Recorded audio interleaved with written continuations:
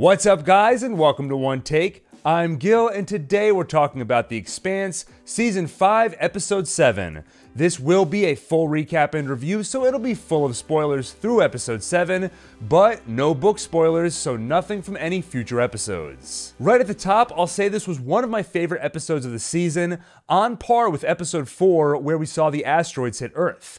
I say that because this episode gave us not one, but several very powerful and emotionally effective character moments for Naomi all of that culminated in a betrayal which I did not see coming and an intense Hail Mary pass from Naomi, which I also did not see coming. But both felt organic and believable, all that made this a great episode, which is also a testament to Dominique Tipper's performance as Naomi. With that, let's get into the recap, but first, just a quick reminder, if you're enjoying these videos, please go ahead and hit the like button, hit the subscribe button, and hit the bell icon so you get notified the next time we do a video, including our next Expanse review and other Expanse-related content. Let's start with Holden, Alex, and Bobbie. Monica asks Holden what they'll do once they find the proto-molecule, and he assures her that they'll destroy it. She also lets Holden and Bull know that she's speaking with inside sources, and if they don't get to the Zmeya before the protomolecule is handed off, she should hear about it. And in that moment, I was sure they were not going to reach the Zmeya before the handoff. Then Bull and Holden discuss Fred. Bull discusses his respect for Fred and the integrity he had. Holden confesses he never trusted him and always thought Fred was working some angle. Bull points out how alike Fred and Holden are, including Holden's tendency to always think he's right. The season began with Fred trying to convince Holden to stay out of the fight and essentially retire. Since Fred's death, I think it became clear that part of Holden's reason for staying in the fight now will be to carry on Fred's legacy. I don't know that Holden will become an OPA leader like Fred, but I do think he'll become even more of an advocate for them. I think hearing that he's like Fred and recognizing that Fred's motivations are pure, he wasn't playing an angle, are both further signals that Holden will continue to fight for Fred's dreams to be realized. Alex and Bobbie get a message from Holden letting them know he's no longer on Tycho, and for some reason it cracked me up when Bobbie says, they can't be on Tycho anymore, right before Holden says, The Roci's not on Tycho anymore and she gives a shrug as if to say, Yep. They reply, letting Holden know Inaros is buying Martian warships and includes profiles for those ships. Holden immediately recognizes one of them as Naomi's and surmises that Marco has kidnapped her. He messages back asking Alex and Bobbie to follow and keep an eye on them. At this point, Alex and Bobbie have spent about half the season on the Razorback, basically observing and evading. So honestly, I'm ready for them to get off that ship. I don't know if there's a way for them to intercept with Naomi, but one way or another, I'm hoping this finally gets them into the battle and to do something a little bit more interesting. Holden and Monica talk. She points out that for Inaros to acquire warships, someone high up in the Martian food chain must be involved. Further, Marco wouldn't have the funds to buy those ships, so he must be offering something else the protomolecule and Cortazar, the protomolecule scientist who we know was kidnapped earlier. Holden also mentions the in case something goes wrong message from Naomi.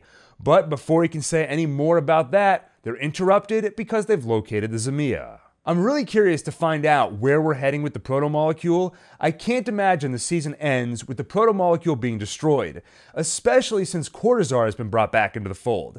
I have to think he'll have a chance to perform more experimentation with it, and I wonder if we'll see it do something new, similar to the reveal of the rings a few seasons back. They go after the Zmeya, evade a bunch of missiles in a pretty thrilling sequence. They corner the Zmeya and intend to board it for info on Naomi. But the Zmeya suddenly explodes in what I imagine is the spaceship equivalent of a spy biting down on a cyanide capsule once they're caught. I assume those were Marco's orders in case someone tried to capture the Zmeya. I also assume that means the protomolecule was handed off at some earlier point. Speaking of Marco, let's talk about him, Naomi, and Filip this episode. Marco pays Naomi a visit and they discuss their past. He claims that he kept Filip because he thought it would make Naomi stay. He also claims that had he known taking down the Augustine Gamarra would have driven her away, he wouldn't have done it. She tells him he's doing the same thing to Filip now, and Filip doesn't deserve to die for Marco's dreams. This scene was like an emotional appetizer for what comes later in the episode, since it didn't strike me too much on an emotional level like the scenes for Filip did later. Part of that is because Marco is such an enigma to me that when he's on screen, I don't know what emotions are real and what is just manipulation. His eyes definitely teared up when he discussed the Augustine Gamarra, so he seems to genuinely regret losing Naomi. At the same time, the words are meaningless. He clearly has no trouble killing innocent people, so if it wasn't the Augustine Gamarra, he would have attacked something else. And maybe it would have been done in a way where Naomi didn't feel culpable, but she would never have stayed with Marco after seeing the horrors he's capable of. So it was an interesting scene and felt like one more puzzle piece in understanding Marco. Finally, Marco lets Naomi once again roam the ship, but if she does anything wrong again, she's dead. And Marco says, Filip will know you for who you really are. This scene told me that Marco does want to kill Naomi, but not at the cost of his relationship with their son. So part of his motivation in letting her go here is he wants to give her a chance to betray them. So Filip will understand when Marco ultimately executes her. Of course, Naomi heads right to Filip's room. She tries to bond with him a bit before they get into the crux of their conversation. Filip asks her what she meant when she said that she knew what he was going through. She explains that Marco manipulates you and makes you blindly go along with him. He does that by making you feel like the center of the universe and crave his attention. That blindness made her write the Gamarra code, and Marco is doing the same thing to Filip now. She asks Filip if he feels any remorse for what he did. He does not. In one of the first emotional bombs of the scene, Naomi tells him that she used to dream of all the things Filip would do and become. Now she only dreams that he'll one day regret all the things he's done. Finally, he asks her why she left him. Naomi explains that she didn't intend to. She had to leave Marco, but she searched months for Filip and eventually accepted she wouldn't find him. Then she reveals that after giving up the search, she walked into an airlock and contemplated taking her own life. This is the conversation I've been waiting for all season. I wanted Naomi to have a chance to explain the whole story of how she was separated from Filip. I thought we mostly knew the story already, we've heard versions of it before, but it was important for us to hear it again and experience it through Filip's eyes. And we did, but on top of that, we learned about the airlock, which was new. I thought Dominique Tipper's delivery of it was incredibly effective, and the phrasing of why she decided not to take her own life was also interesting, because it was all about Filip. I was going to open the door. And then I realized Pressing that button wouldn't change anything for you. Either way, alive or dead, you were going to grow up without a mother. She's essentially saying that the choice of whether to live or die hinged on her calculation of what it meant for Filip.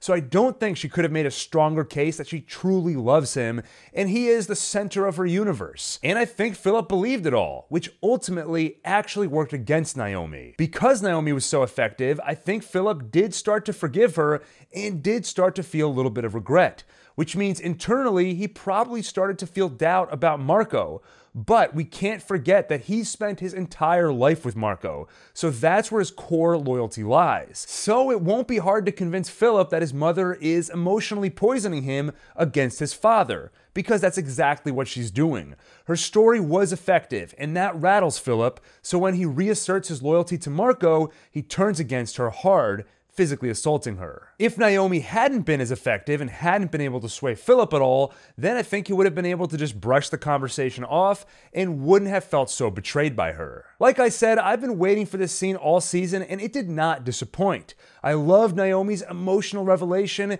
and Filip's complicated reaction to it. The revelations continue as we next see Naomi with Cyn. He tells her the story of the last time they spoke on Pallas. Naomi said she was going for a walk, but he noticed a look on her face. Following her, he saw Naomi get in the airlock and knew what she was thinking of. If I had known it would come to that, he says, I would have helped you. Then he confesses that she never found Philip because he helped Marco hide him from her. Her response and his defense of it crushed me. He was my son. I'm so sorry.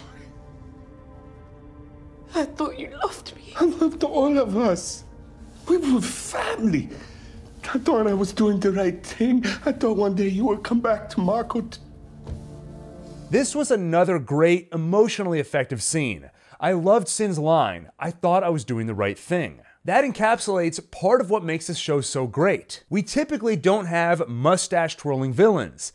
Everyone thinks they're doing the right thing. There's no one that's just pure evil. It also made me feel bad for Cyn and others like him because you really do see the hold Marco has on people. He's a charismatic leader and so effective, he's able to sway people to do monstrous things which, if they eventually wake up like Cyn, they come to regret. So, this was a great character moment between Naomi and Cyn, but also a nice way to show more collateral damage from Marco's leadership. As promised, Cyn attempts to help Naomi and asks Marco to let her go. Marco chastises him for being weak and promises Naomi will never be free.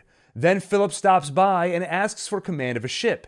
He wants to show people what he can do and for people to know who he is.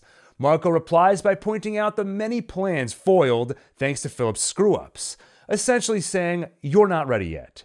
Then he points out that people are chanting his name, not Filip's, and adds, You are nothing without me.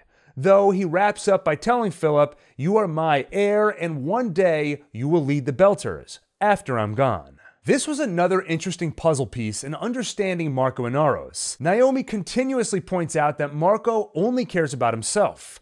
I believed her to an extent, but at the same time, I had to imagine that Marco does believe in the fight for the Belters, at least to some extent. But watching him tell Filip they're chanting my name makes me think the egomaniacal, self centered part of him really is his primary motivation. In this conversation, he seemed much more interested in who is recognized for their accomplishments than what is best for the OPA. Also, the fact that Filip seems to be concerned with people knowing his name, he must have gotten that desire from somewhere, and I think that's him learning from his father. So I'm starting to suspect that Marco doesn't care too much about the Belters, he just saw this whole conflict between the Belt, Earth, and Mars as an opportunity for him to gain power and notoriety. And if that's true, I look forward to the veil being lifted for Filip. Perhaps Filip will see who Marco is and realize who he is becoming just in time to help stop Marco. But we'll see. Finally, Naomi is brought to see Marco. He informs her that she'll be free to go, just as soon as they use her ship to lure the Rocinante and destroy it. He also tells her Filip inspired the idea. Filip wants the belt to know that he is the one who destroyed the Rocinante. I think that's a slight bending of the truth. In the opening of the episode, Marco asks Filip if they can use Naomi's ship for an unspecified purpose. And we saw him tracking the flight plan at the end of last week's episode. So it is Marco's plan, but I think he's decided they'll credit Filip with it. That's what Filip wants, so people start to know his name. But more than that, it's one more way for Marco to stab at Naomi. Now she gets to watch her own son betray her and kill some of her loved ones. Naomi pleads with Filip, but he slaps her and accuses her of trying to make him weak and poison him against his family. This was a particularly effective moment because of the earlier scene where it looked like there was hope for Filip. And the funny thing is, he's not wrong. She is trying to poison him against his family, but the part he leaves out is that she's doing so with the truth. This was also a particularly painful moment because it felt like there's no coming back from it. It's really hard for me to imagine Filip and Naomi ever fully accepting each other again after everything they just went through. Naomi is dragged away as she screams for Filip and tells Marco how much she hates him. They prepare to launch her ship, but Cyn notices she's at the airlock. As he goes after her, Filip sees a security feed Cyn left up and follows. I loved the somber music that kicked in as Naomi heads for the airlock.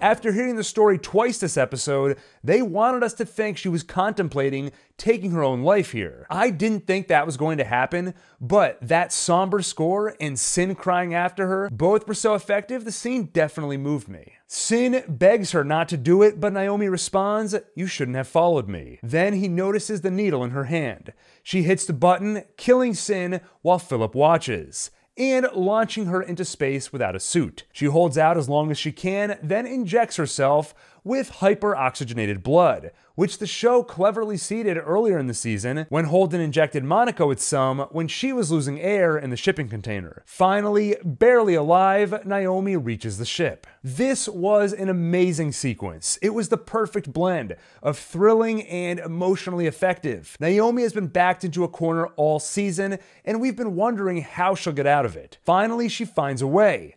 It's clever and physically challenging, but not just that, it came at a great emotional cost as well, sacrificing her old friend Cyn. There was also a lot of emotional buildup that had to happen to make this possible for her. She's leaving her son possibly for the last time, and I don't think she would have had the strength to do that had Filip not betrayed her and maybe convinced her that he's too far gone and too much like Marco now. Also, without Cyn's confession that he hid Filip from her, maybe Naomi wouldn't have been able to so callously let him die. So it was an emotionally effective and complex moment wrapped in a suspenseful, thrilling escape sequence. A great way to end a great episode. Anyway, I think we can wrap it up there. Like I said, I loved the episode. Let me know what you thought of the episode in the comments. Let me know if you agreed with my take, where you disagreed, and we'll keep the conversation going. And if you enjoyed this video, please go ahead and hit the like button, hit the subscribe button, and hit the bell icon so you get notified when our next video drops. We'll continue to review the show every week and have some other Expanse related content on the way, so stay tuned. Thanks for watching and see you on the next One Take.